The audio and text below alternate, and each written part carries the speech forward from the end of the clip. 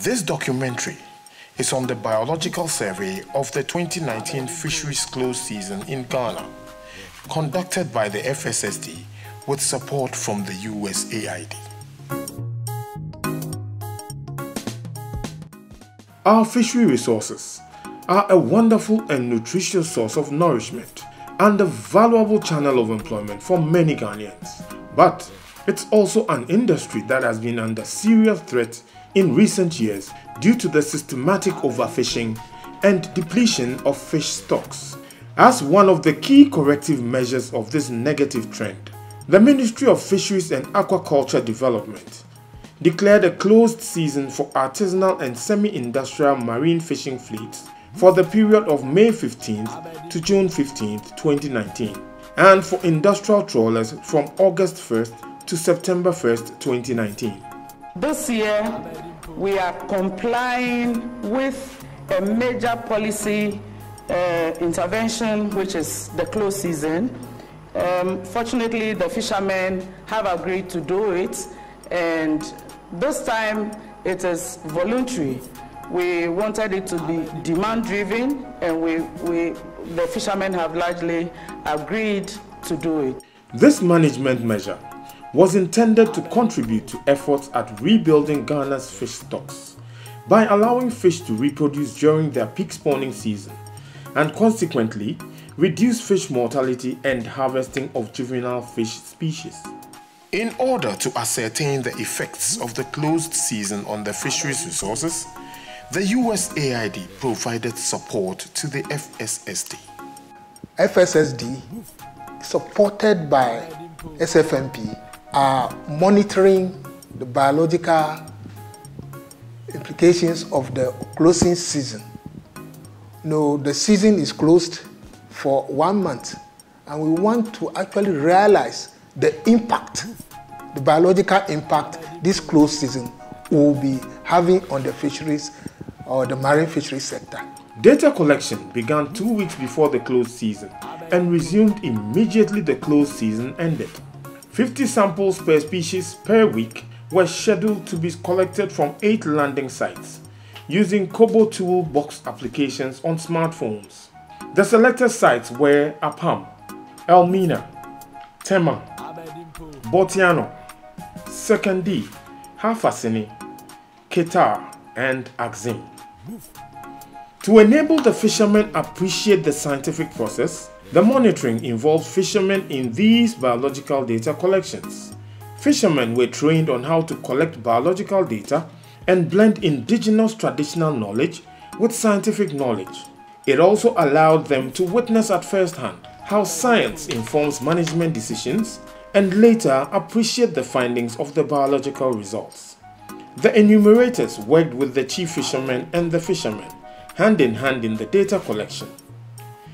The fishermen start the demonstration by measuring the fork length of the fish. They then measure the total length of the fish to ascertain its size and then weigh it.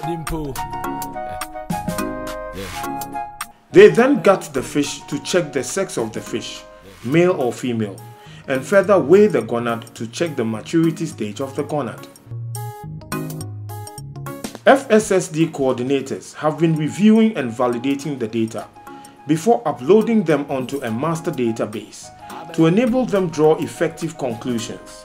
The biological monitoring ended in March 2020, at which time the Scientific and Technical Working Group STWG validated the analysis of the data collected by FSSD to provide a report to the Ministry of Fisheries and Aquaculture Development and the Fisheries Commission to inform policy decisions related to the scheduling of the 2020 closed season. The FSSD demonstrated through this study that the small pelagic species of Ghana, namely Sardinella, mackerel, and anchovies, migrate near shore to spawn during the second half of the month of August. This period represents the biggest peak spawning of these fishes. The FSSD concluded that for future reference, fisheries managers should consider to close the fisheries during this period in order to give a chance to big fish to spawn to contribute to the rebuilding of the fish stocks.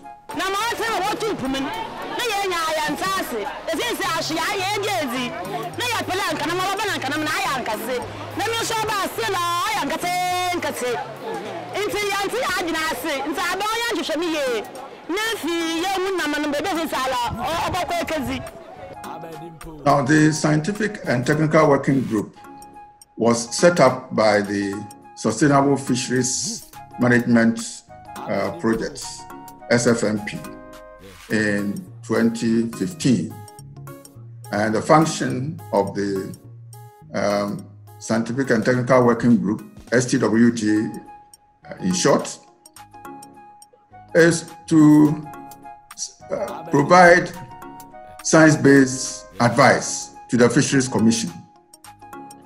And this function has been uh, diligently uh, served by the STWG during the life of the uh, SFMP. Biological monitoring is a very important activity associated with uh, implementation of fisheries management interventions, such as close season. In the 2019 uh, period when the fisheries was closed, the STWG recommended biological monitoring to take place before, during, and after the closure to give real-time scientific information as to whether the closure was being effective.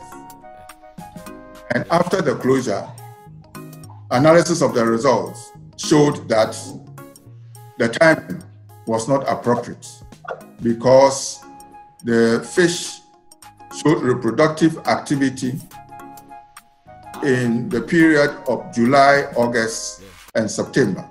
And so the closure should have taken place in either July, August, or September. The SFMP adopted a model whereby there was collaboration between the research agencies, namely the Fisheries Statistical Survey Department, the universities, such as University of Cape Coast and University of Ghana, the Fisheries Commission itself, and the SFMP. And this collaboration was very effective during the work of the SFMP. The objective of this collaboration was achieved.